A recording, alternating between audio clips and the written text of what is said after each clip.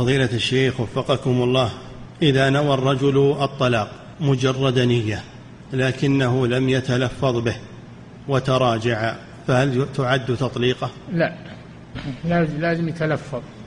أدم لم يتلفظ لا يعد شيئا. نعم.